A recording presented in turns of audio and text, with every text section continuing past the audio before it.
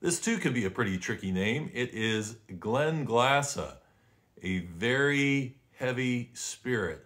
Beautiful Scotch whiskey, Glen Glassa.